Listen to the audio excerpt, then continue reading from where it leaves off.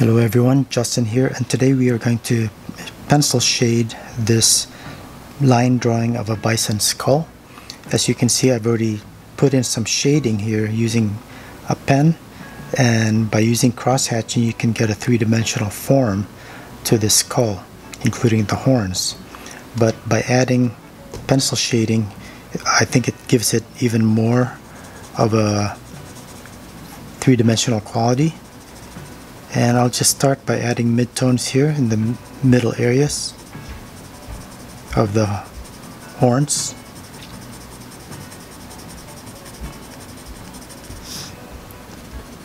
And over here. I'll continue on by shading the lower right making the lower right and right side of each of these segments a little bit darker. It'll be a little subtle. And do it over here as well.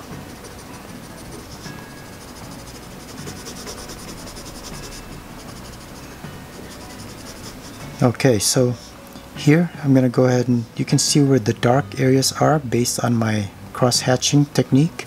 And I'll just add some pencil tones to that area to those areas. And I can do it in a fairly loose style where you can see my pencil marks. And just go over it with different direction lines to make certain areas a little bit darker. So this whole right side is going to be a little bit dark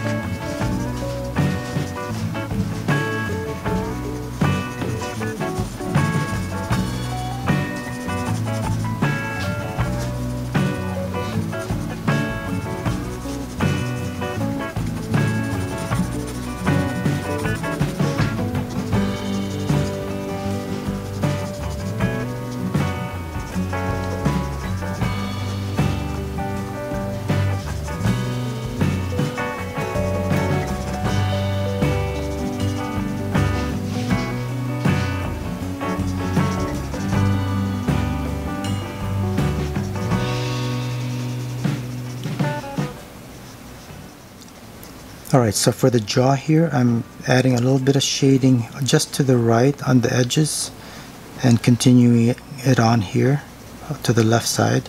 I'm going to keep this area kind of light because the bone is actually white, whitish, and I don't want to add too much shading and tone and take away from the fact that it, it's a white, it's a white material.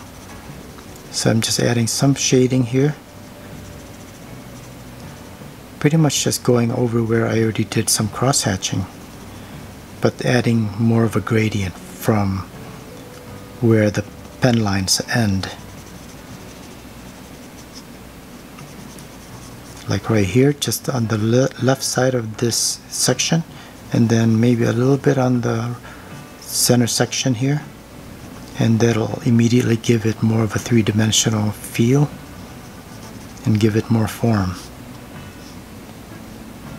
and same here. So that's pretty much it. You could check out that other video on how we got to this point with a pen but you could also just use a pencil to get to this point and then continue on with shading as I showed you on this video.